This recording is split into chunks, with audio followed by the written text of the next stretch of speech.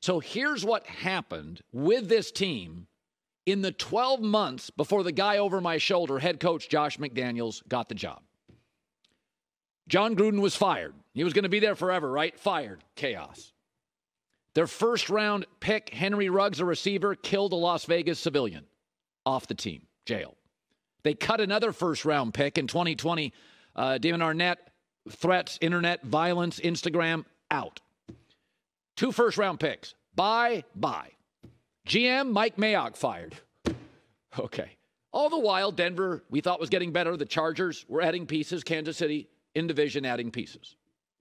So Josh McDaniels comes in and he takes a big swing. I'm going to get a wide receiver, Davante Adams. They bring him in. But in the process, they give up a first and a second round pick in the draft.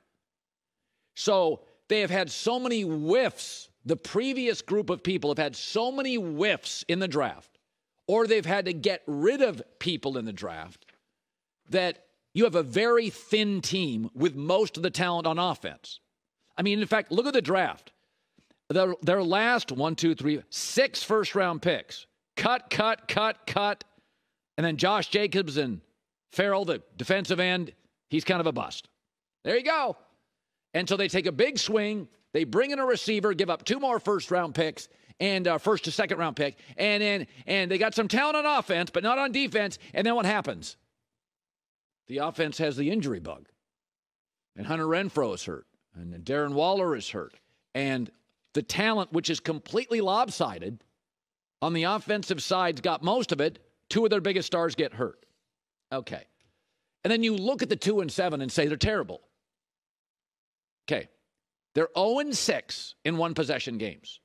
Who was the team in the NFL last year that was terrible in close games? Minnesota. 8 and 1 this year. Offensive coach winning close games. The difference is there wasn't massive chaos with the Vikings. They just replaced a coach. Look at the chaos Josh McDaniels had to overcome. They're just losing close games. They're in it. All their talent, because of so many whiffs by the previous guys on their top picks, their talent's mostly on offense. And two of their three biggest stars got hurt. What are you going to do? I mean, think about this the Raiders' point differential they're in games as minus 23. That's better than the Chargers in their own division that have a winning record. That's better than the Packers. Tennessee is right now 6 and 3. They have a negative point differential.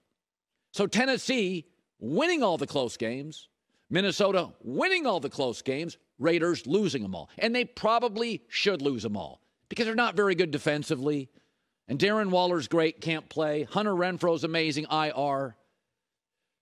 This stuff is really, really hard. It's way harder than social media would lead you to believe. Most jobs are. But I think Denver needs to make a move. I'll defend the Raiders again. I would take the Raiders job tomorrow. I've had two former head coaches tell me that Raider thing's interesting. You could keep Derek Carr, you could move him and get a bunch of picks. There's no cap hit. They got stars on offense, they got pass rushers. Like, it's not a bad job. And I don't think it's a terrible team. 0 6 and one possession games. I think the Raiders win about half of the remaining games. Believe it or not, they'll be viable. But this stuff is hard. And I think Mark Davis is being honest. Wasn't built in a day.